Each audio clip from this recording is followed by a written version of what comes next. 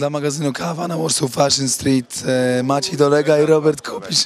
Nie, nie, ja się Robert tłumaczę cały czas tym, że się po prostu przeziębiłem, wiesz. Dobrze, dobrze, niech i tak Dzień będzie. Dzień Robert, dobry. powiedz mi tak, w zeszłym roku rozmawialiśmy, tutaj właśnie, wspominałeś o starcie swojej kolekcji, jeszcze dosyć enigmatycznie. Tak, tak. Ona ruszyła, jak się czujesz? No, bardzo dobrze się czuję, ale teraz e, e, też podobnie, ponieważ już myślę o następnym pokazie, także to jest, myślałem, że już sobie odpocznę po pierwszym, ale po pierwszym to okazało się dopiero, że czeka mnie dużo pracy, bo musiałem wyprodukować to, żeby ludzie mogli to kupować normalnie, a teraz już pracuję e, nad nową kolekcją, która będzie w listopadzie. Wiesz, że to już jest nieustające teraz. No właśnie troszeczkę się przestraszyłem, bo myślałem, że jak zmienię tą pracę, że to będzie troszeczkę takie, że więcej będę mógł kontrolować i więcej będę miał czasu dla ciebie, mniej stresu, a to jednak jest dużo, dużo trudniejsze. Wyzwanie. Powiedz mi, do kogo ty adresujesz swoje, swoje ubiory? No do To tych, powinien w ludzi, nich chodzić. do tych ludzi, którzy się w nich dobrze czują. Nie mam jakoś e, takich ambicji. Jakbyś że- określił ten styl?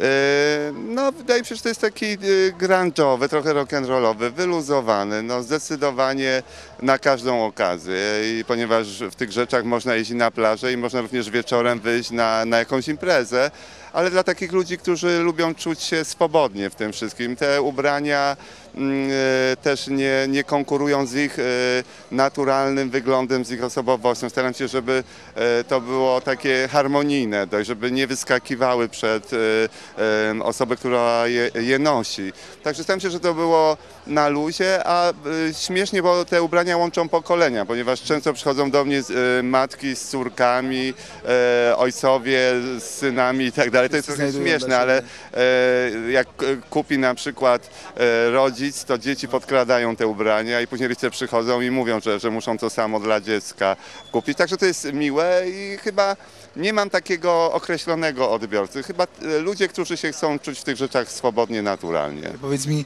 jeżeli mógłbyś zdradzić nam troszkę kulis produkcyjnych, ty projektujesz, szyjesz też, jak to wygląda u Ciebie? No nie, w tej chwili już e, projektanci raczej nie szyją, bo nie mieliby czasu na to, bo e, ja wziąłem się za taką linię, która składa się z kilku jak gdyby tematów, ponieważ ja mam tam i skóry, i jeans, i bawełnę, i koszulę, ja mam wszystko tak naprawdę.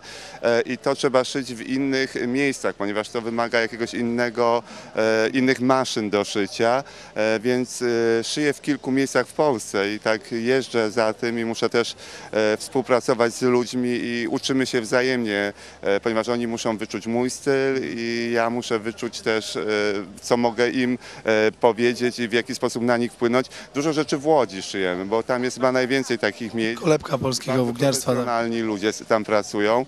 E, także y, no ogólnie jest tego bardzo, bardzo dużo. I ja dużo rzeczy później wykańczam już w domu, ponieważ ja je patynuję, farbuję. I każdy twój strój ma jakby swój, twój osobisty wkład. No e, oczywiście, no. ale projektuję, później jest to szyte, e, tu- szyte są pierwowzory, które omawiamy.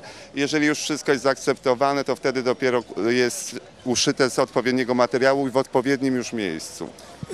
Planujesz otworzyć e, sieć e, butików, sieć kupiszów?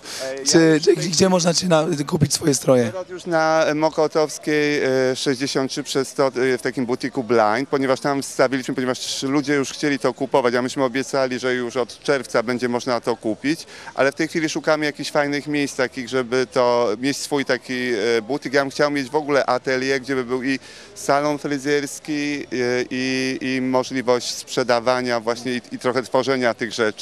E, Wtedy mógłbym łączyć, bo w tej chwili mam dużo takich propozycji od, od gwiazd, od różnych gazet, żeby kreować e, znanych ludzi tak po całości, od fryzur poprzez ubranie. I tak e, staram się w tym kierunku iść troszeczkę. Robert, bardzo dziękuję. Dziękuję, miłego dnia. Miłego dnia. Pozdrawiam.